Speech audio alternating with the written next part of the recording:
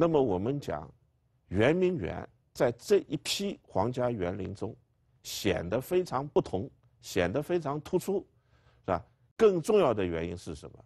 更重要的原因是，圆明园是一座离宫御苑。离宫呢，实际上这个概念是相对于正宫。我们知道紫禁城啊是清朝的正宫。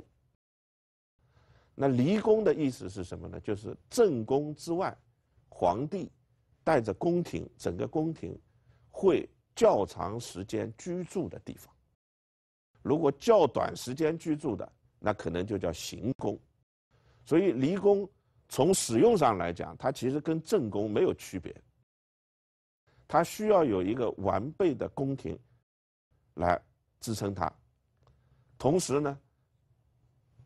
它的一个不同之处呢，就在于它又比正宫显得在氛围上面要稍微宽松一点。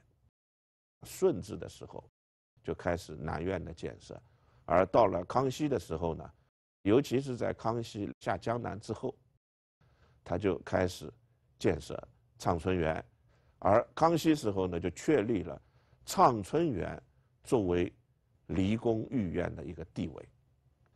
但是呢，这个情况呢，到了这个雍正执政的时期呢，发生了变化。在康熙朝的时候呢，圆明园已经有了，但是那个时候呢，它是作为亲王的复原这个地位存在的。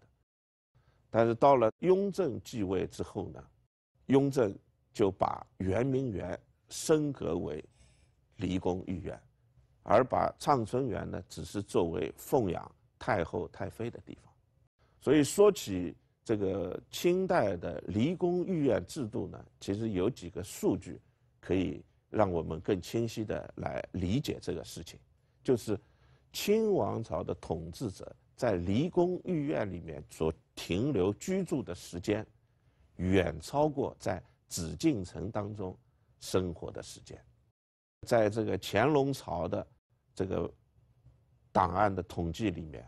其中有一年，他在圆明园居住的时间超过了一百六十天，大家可以看一看，就这个时间接近半年了，就是一年当中一半的时间，他是住在圆明园。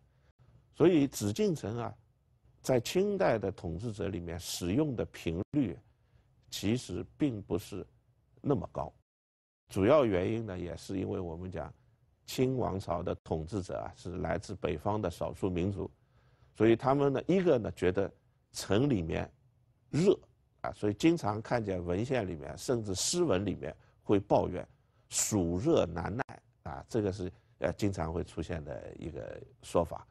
第二个呢，因为北方少数民族呢有这个逐水草而居的习惯，逐水草而居的传统，所以他们更愿意住在。